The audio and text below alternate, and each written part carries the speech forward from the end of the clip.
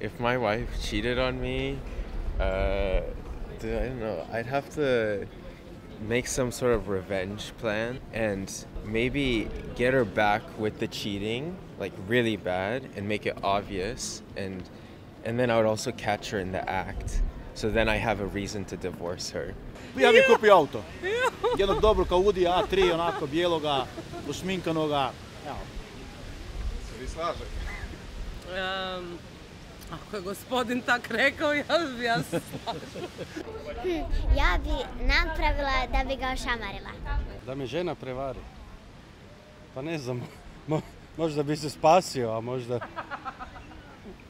Možda bi bilo dobro, a možda ne. A svako će svojim putem, jel? A možemo i oprostiti. Jel tako? I to je u redu. Sve ovisi.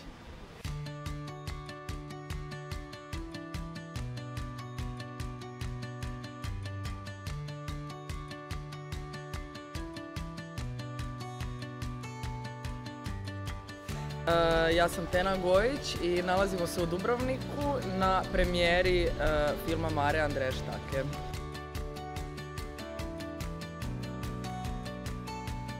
Zadovoljna sam što smo uspjeli u svom naumu da ga snima na 16 mm kameru što mislim da će cijeniti filmoljubci koji vole analognu sliku.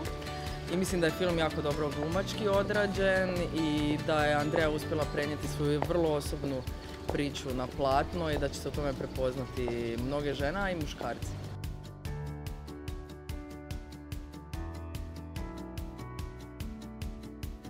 Mari je žena uhvaćena u koštac sa nekom svojom svakodnevicom, ustaljenim normama, pravilima, podjelom uloga u kojoj njoj nije nužno loše, ali ima neki unutarnji poriv za promjenom kojeg ni sama zapravo nije svjesna dok se ona ne dogodi, dok se ta promjena ne dogodi i dok ona sama e, ne poduzme neke korake o kojima ni sanjala nije. Nakon što sam ga pogledala dva put, sam nekako osjetila da poštujem i cijenim ovaj film, način na koji je Andreja iznijela ono što ju zanima.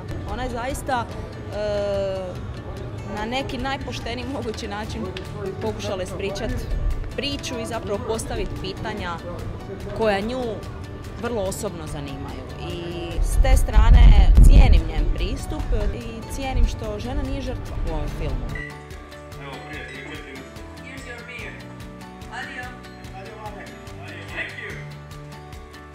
Jako mi je drago da je Mare napokon prikazan u Dubrovniku. Ima ljudi ovdje iz Dubrovnika i sa Šipana koji su dugo čekali da ga vide na platnu. Nisam davala one video linkove. I ništa, šaljem puno plusa iz Cirika. Ono, stvarno mi je čudno da sam tu, ali barem ja vas vidim i vi mene kratko. I eto, vidimo se uskoro.